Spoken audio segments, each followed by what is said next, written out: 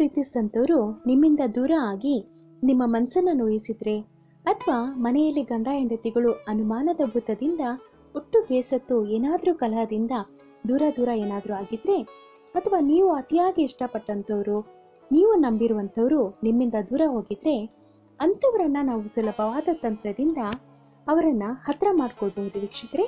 ಈ ಒಂದು ವಿಧಾನ ಮಾಡೋದ್ರಿಂದ ನಮ್ಮ ಮನೆಯಲ್ಲಿ ನೆಮ್ಮದಿ ನೀವು ಇಷ್ಟಪಟ್ಟಿರುವಂತವರ ಜೊತೆಯಲ್ಲಿ ನೀವು ಒಂದು ಶಾಶ್ವತವಾದ ಜೀವನವನ್ನ ಮಾಡ್ಕೊಂಡು ಹೋಗ್ಬೋದು. ಹಾಗಾದ್ರೆ ಬನ್ನಿ, ಯಾವ ವಿಧಾನ ಮಾಡಿದ್ರೆ ಯಾವ ರೀತಿ ಆಗುತ್ತೆ ಅಂತ ತಿಳಿಸ್ಕೊಡ್ತೀನಿ.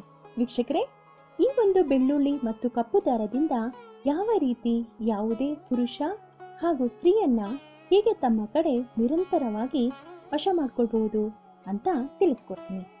ಈ ವಶೀಕರಣ ತುಂಬಾ ಶಕ್ತಿಶಾಲಿಯಾದಂಥದ್ದು. ಬರೀ ಎರಡು ದಿನದಲ್ಲಿ ನೀವು ಅಂದ್ಕೊಂಡಿದ್ದು ನಡೆಯುತ್ತೆ. ಹಲವರಿಗೆ ಈ ಪ್ರಯೋಗದಿಂದ ಒಳ್ಳೆಯದು ಸಹ ಆಗಿದೆ. ಹಾಗಾದ್ರೆ ಬನ್ನಿ, ಈ ಒಂದು ಬೆಳ್ಳುಳ್ಳಿ ಮತ್ತು ಕಪ್ಪು ದಾರದಿಂದ ನಿರಂತರವಾಗಿ ಹೇಗೆ ವಶ ಮಾಡ್ಕೊಳ್ಳೋದು ಅಂತ ಈಗ ನಾವು ನೋಡೋಣ. ಮೊದಲು ನೀವು ಐದು ಬೆಳ್ಳುಳ್ಳಿ ತುಂಡುಗಳನ್ನು ತಗೊಳ್ಳಿ.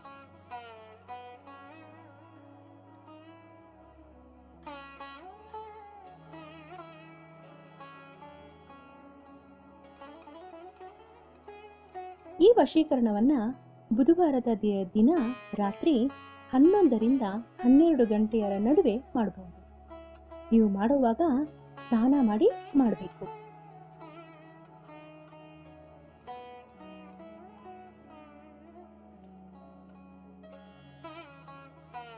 ಕಪ್ಪು ದಾರವನ್ನ ಸೂಜಿಯಲ್ಲಿ ಪೋಣಿಸ್ಕೊಳ್ಳಿ.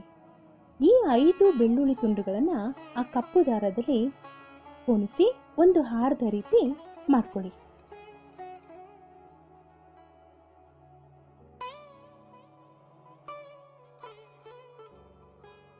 ಇದು ತುಂಬಾ ಶಕ್ತಿಶಾಲಿಯಾದಂಥ ವಶೀಕರಣ. ತುಂಬಾ ಧ್ಯಾನದಿಂದ ಈ ವಿಡಿಯೋನ ನೋಡಿ. ಈ ರೀತಿ ಕಪ್ಪು ದಾರದಲ್ಲಿ ಈ ಐದು ಬೆಳ್ಳುಳ್ಳಿ ತುಂಡುಗಳನ್ನ ಪೋಣಿಸಿದ ನಂತರ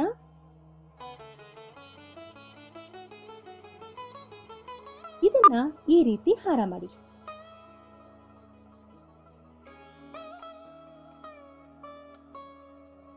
ವಶೀಕರಣ ಅಂದ್ರೆ ನೀವು ಇಷ್ಟಪಟ್ಟವರಿಂದ ಮೋಸ ಆಗಿದ್ರೆ. ದಾಂಪತ್ಯದಲ್ಲಿ ಭಿನ್ನಾಭಿಪ್ರಾಯಗಳು ಬಂದು ಗಂಡ ಒಂದಾರಿ ಹೆಂಡತಿ ಒಂದಾರಿ ಹೋಗಿ ಅನೈತಿಕವಾಗಿ ಒಟ್ಟು ನಿಮ್ಮ ಸಂಸಾರ ಹಾಳು ಮಾಡ್ಕೊಂಡಿದ್ರೆ. ಮತ್ತೆ ನೀವು ತುಂಬಾ ಯಾರನ್ನಾದ್ರೂ ಇಷ್ಟಪಡ್ತಾ ಇದ್ದೀರಾ? ಮನ್ಸಲ್ಲೇ ಕಾಮನೆಯಿಂದ ಬಳಲ್ತಾ ಇದ್ದೀರಾ ಅನ್ನೋ ಹಾಗೆ ಇದ್ರೆ?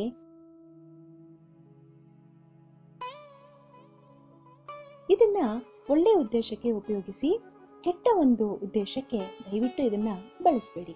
ವಶೀಕರಣ ಅನ್ನುವಂಥದ್ದು ನೋಡಿ, ದಯವಿಟ್ಟು ನಿಮ್ಮ ಮನಸ್ಸಲ್ಲಿ ಕೆಲವೊಂದು ತಪ್ಪು ಭಾವನೆಗಳು ಇರಬಹುದು ವಶೀಕರಣ ಅನ್ನುವಂಥದ್ದು ಕೆಟ್ಟದಲ್ಲ ಅದು ಯಾವುದೋ ಒಂದು ಕೆಟ್ಟ ಪೂಜೆ ಸಹ ಅಲ್ಲ ವೀಕ್ಷಕರೇ.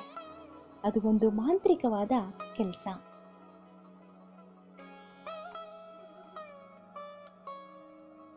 ಇದನ್ನ ಈ ರೀತಿ ಹಾರ ಮಾಡಿ. ಆಯ್ತಾ?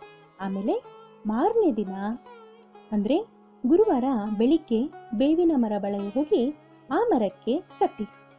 ಕಟ್ಟುವಾಗ ನೀವು ಯಾರನ್ನ ನಿಮ್ಮ ಕಡೆ ವಶ ಮಾಡ್ಕೊಳ್ಬೇಕು ಅನ್ಕೊಂಡಿದ್ದೀರೋ ಅವರ ಹೆಸರನ್ನ ಮನಸ್ಸಲ್ಲಿ ಅನ್ಕೊಳ್ಳಿ. ಉದಾಹರಣೆಗೆ ಅವರ ಹೆಸರು ಕವಿತಾ ಅನ್ಕೊಳ್ಳಿ. ಕಟ್ಟುವಾಗ ಅವರ ಹೆಸರನ್ನ ಏಳು ಬಾರಿ ಹೇಳಿ.